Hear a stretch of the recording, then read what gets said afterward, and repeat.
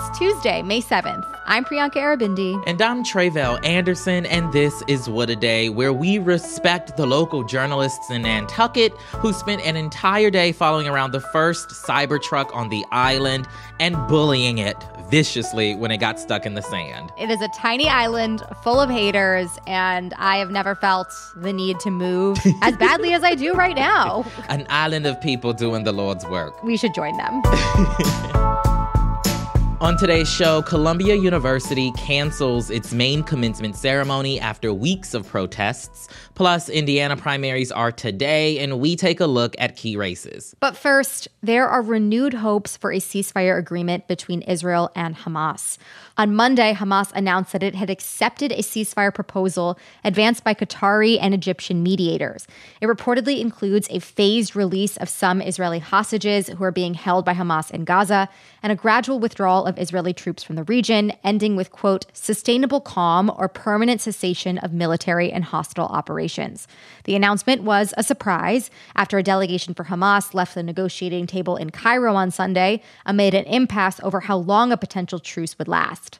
Israeli officials said later on Monday that while the proposal Hamas agreed to didn't meet all of their demands, it would send a group to continue talks in hopes of reaching a deal. Okay, so that sounds like good news. It's definitely promising, but it also didn't stop Israel from ramping up attacks on Rafah in southern Gaza. They started on Sunday night and continued Monday after Hamas's militant arm launched a rocket attack on a major aid crossing between southern Gaza and Israel that killed four soldiers. At least a dozen Palestinians died in Israeli counterstrikes on Sunday night. Israel on Monday also ordered more than 100,000 people to leave eastern Rafah and move north of the city. But it's not clear yet whether that means a larger ground invasion is imminent. To get a sense of what an invasion of Rafah would mean for the people sheltering there and for Gaza as a whole, I spoke earlier with Jeremy Konyndyk. He is the president of Refugees International, a humanitarian organization that advocates for refugees and policies that help them. He also served in senior roles at the U.S. Agency for International Development, or USAID, first as the director of USAID's Office of Foreign Disaster Assistance under former President Barack Obama, and then as the agency's lead official for COVID 19 under President Joe Biden. Here is our conversation. Over a million people are currently sheltering in Rafah, roughly half the population of Gaza. And it's the only major city in the region that hasn't seen a full Israeli ground invasion yet.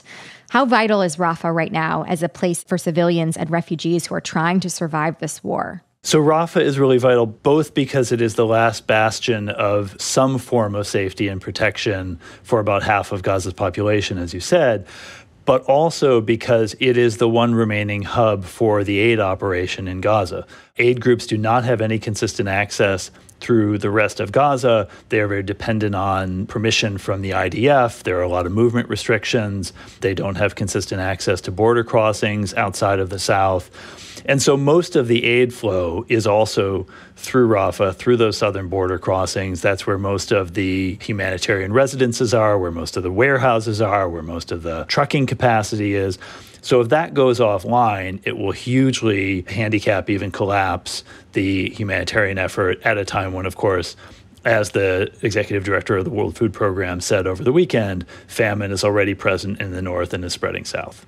On Monday, Israel ordered about 100,000 people who are sheltering in eastern Rafah to evacuate to an area that is north of the city, an area that Israel says is a humanitarian zone. What new immediate challenges will those evacuees face? Those evacuees face a lot of uncertainty and not much guarantee of safety. Um, you know, we've seen over and over that these evacuation orders do not actually confer safety. Um, there was a very famous, widely reported incident a few months ago where a young girl named named Hind was with her family evacuating in a part of northern Gaza after an evacuation order from the IDF had told them to move out of their neighborhood. While they were in their car driving out of their neighborhood, their car was targeted by Israeli forces it was blown up. She had a cell phone. She called the emergency line for the Palestinian Red Crescent. That audio has been widely shared. The Palestinian Red Crescent conferred with the IDF. Sent a team out with IDF approval to go and rescue her. They too were targeted and killed by the IDF, and it wasn't until days later that other paramedics were finally able to find them. So I think these kind of orders are rightly viewed with a lot of skepticism by Palestinians in Gaza. But then, of course, the so called safe zone in Mawasi that the IDF is telling people to move towards that too has been struck numerous times. And CNN and NBC have done extensive exposes showing how that zone has not actually been immune to strikes. So there's really nowhere safe for people to go. And it's very confusing and very uncertain for Palestinians right now to know what they can do to find safety. Israeli Prime Minister Benjamin Netanyahu has repeatedly said that the IDF will invade Rafah. In fact, we've already seen attacks Sunday and Monday. So, if more people are forced to evacuate the city ahead of a wider invasion, what will the fallout be for people, you know, more widely in Gaza? It will really be catastrophic. And I think even the Biden administration, while they haven't said as definitively as I wish they would that there should be no Rafah invasion, you know, what they have said is there should be no Rafah invasion without a credible plan to protect the civilian population. So even that, you know, in a backhanded way, acknowledges how damaging a full offensive would be what I wish they would acknowledge, and what I think, frankly, they need to acknowledge, is there is no safe way to evacuate a million people from Rafah. That is not something that, as a logistical matter, can be done safely. And given the track record of the IDF with past evacuation orders and with their, their reckless targeting that even the president has called indiscriminate, there's really no way to see any evacuation plan coming from the IDF at this point as a credible plan. Right. And I mean, without this plan, aid organizations are already struggling to operate in Gaza. How would an invasion at this point exacerbate the challenges that these groups are already facing on the ground? Well, the expectation from a lot of the humanitarian groups is it would basically shut down most of their operations. You know, the crossing at Rafah and the crossing nearby in the south at Kerem Shalom, those have been the principal entry points for humanitarian aid into Gaza since the start of the war. None of the other crossings have the same volume, have the same logistical pipelines. So if those two are taken offline, it really risks the full collapse of the aid effort. Now, I think the Biden administration is pinning a lot of hopes on this new port that they are building in central Gaza. That may or may not prove useful, but it is certainly not a replacement for losing the two principal crossings where most of the aid currently flows. So, you served in senior positions at USAID under Presidents Barack Obama and Joe Biden. What do you think the conversations, from an aid perspective at least, look like within the Biden administration at this moment? How would they be preparing for the fallout of a Rafah invasion? I think there is a huge amount of frustration in the working levels of the government right now about U.S. policy. You can see that in what's been reported about what USAID and the State Department sent up the chain. And they are also sending up the chain their view that there is no way to soften the blow of a Rafah invasion. There is no way to offset the humanitarian catastrophe that that would entail. So, you know, how do you plan for a catastrophe that you can see coming and that you know you can't offset. You can't do it. I think an interesting analog here and something that Brett McGurk, who's now in a senior level in the White House, worked on in the Obama administration was the invasion of the town of Mosul in Iraq. And there, there was extensive care taken and close coordination between aid providers and the military to provide safe exit zones for people, to make sure that there was extensive aid access in all of the areas that were, you know, liberated from ISIL control.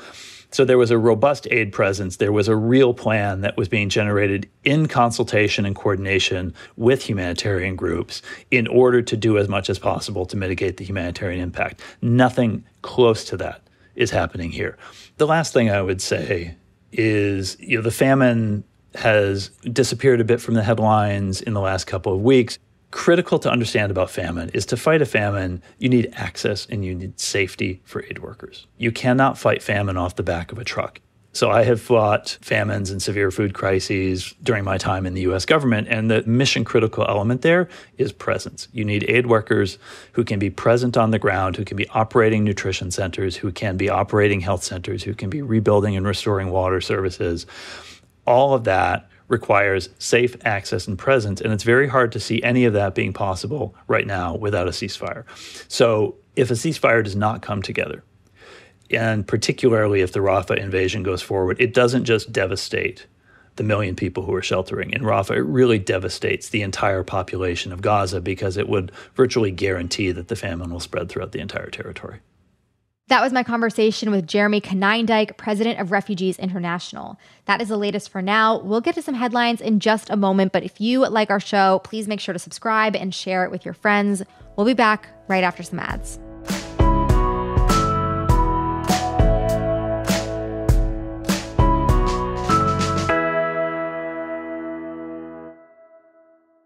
What a Day is brought to you by ZBiotics. Let me tell you, if there's a surefire way to wake up feeling fresh after a night of drinking, it's with ZBiotics.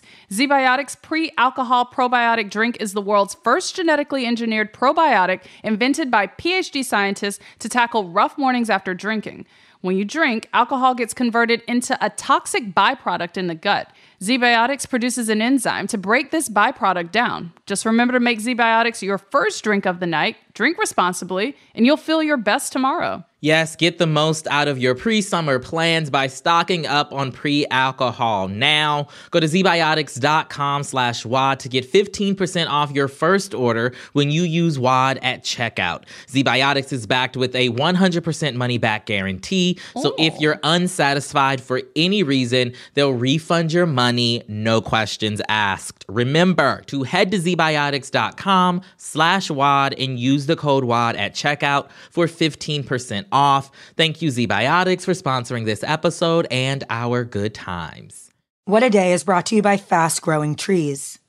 Fast Growing Trees is the biggest online nursery in the US, with more than 10,000 different kinds of plants and over 2 million happy customers.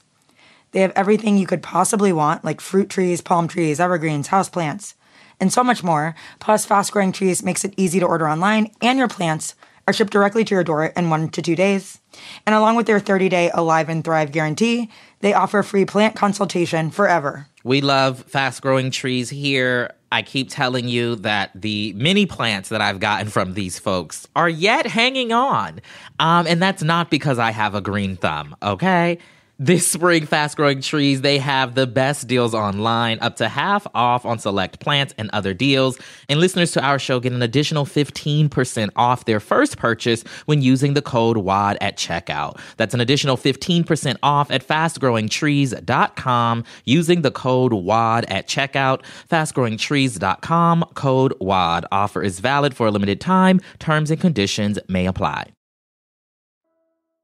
What Day is brought to you by Aura Frames. Aura Frames are beautiful Wi Fi connected digital picture frames that allow you to share and display unlimited photos. From grandmothers to new mothers, aunts, and even the friends in your life, everyone loves an Aura frame. Aura Frames are guaranteed to bring joy to loved ones of all ages. My grandmother literally just texted me, Juanita, uh, to tell me what she wants for Mother's Day. Um, she does not know she about to get an aura frame. Okay. Bless. okay, because okay, they're they're the perfect gift. I can just update the photos and upload them for her. That way we don't have to have too much back and forth. You know what I mean?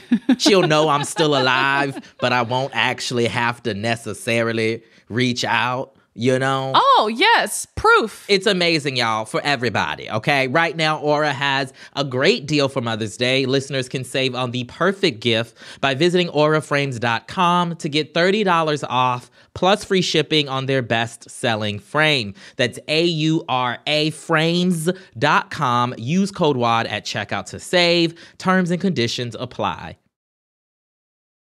Let's get to some headlines. Headlines.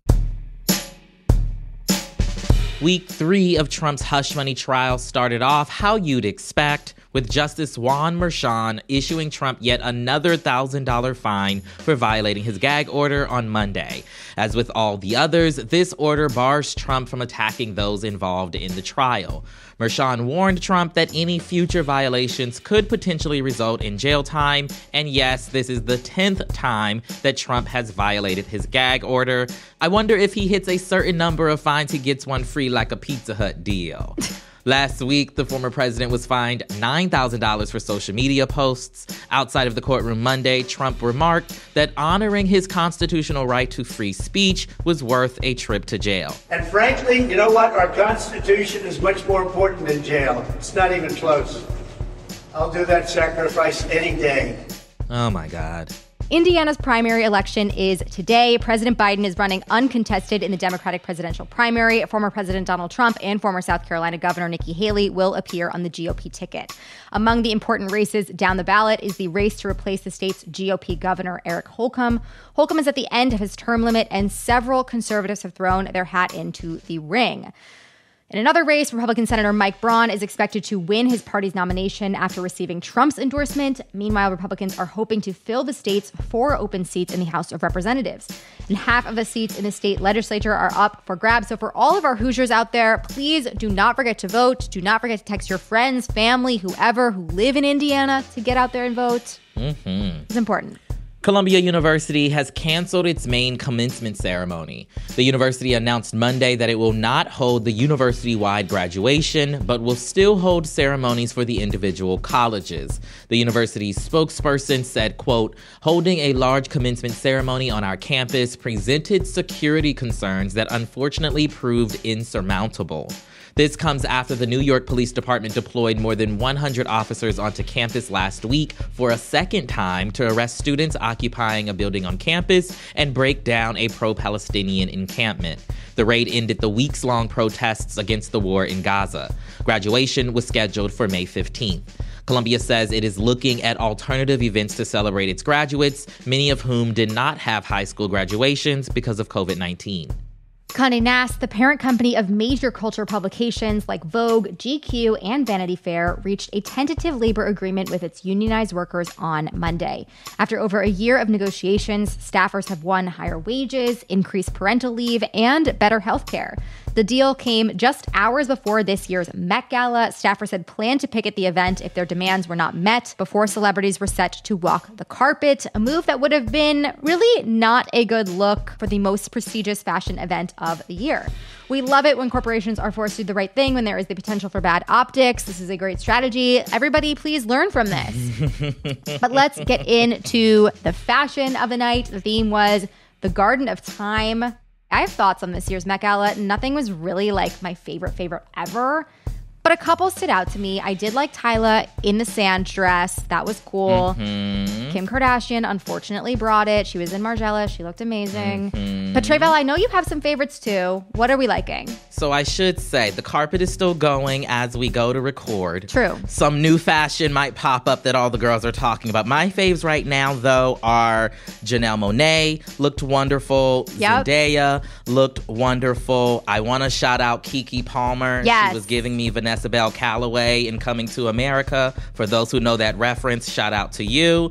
And then last but not least, Cardi B giving us Black Hole Couture on the Met Gala red carpet. I kind of loved it. And I have to go through and listen to her explanation of like how this is Garden of Time, but like mm-hmm. I'm here for it. I'm it interested. Matter. She got us talking. It doesn't does it matter? Probably not.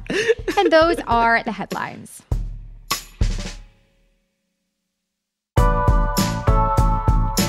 That is all for today. If you like the show, make sure you subscribe, leave a review, find Trump another $1,000 for running his mouth, and tell your friends to listen. And if you're into reading and not just articles bullying cyber trucks like me, What a Day is also a nightly newsletter. Check it out and subscribe at crooked.com slash subscribe. I'm Tre'vell Anderson. I'm Priyanka Aribindi. And, and there's, there's still, still time, time, to invite, invite us, us to, the, the Met Gala. Gala. I'm like not that far away. I mean, you could just crash right now. I hop in an Uber. Big Monday night plans involve finishing up work and crashing the Met Gala. Isn't that like a whole plot of like an Ocean's movie? yeah. They crash it and they steal a diamond They necklace. steal, yeah. Anne Hathaway, Mhm. Rihanna, it's all of them. It's so good. What a Day is a production of Crooked Media. It's recorded and mixed by Bill Lance. Our associate producers are Raven Yamamoto and Natalie Bettendorf. We had production help today from Michelle Aloy, Greg Walters, and Julia Clare. Our showrunner is Erica Morrison, and our executive producer is Adrian Hill. Our theme music is by Colin Gilliard and Kashaka.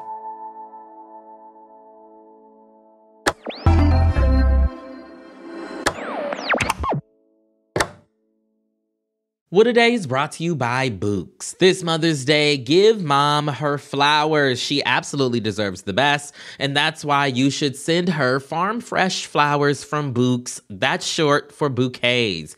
Bouqs has modern designs and unique flowers you can't find anywhere else, and with 20% off, you can send some to mom, your wife, your auntie, even your granny, okay? Anyone who deserves flowers in your life. It doesn't have to be holiday specific. You get flowers, you're getting flowers, everyone's getting flowers.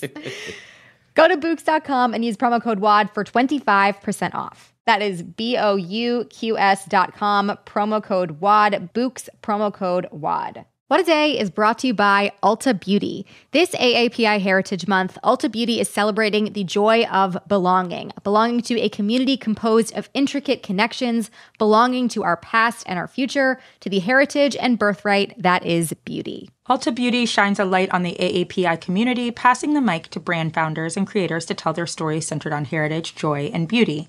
They carry AAPI owned and founded brands like Live Tinted, Peach and Lily, Glamnetic, Tree Hut, and more. Shop AAPI owned and founded brands at Ulta Beauty stores and Ulta.com.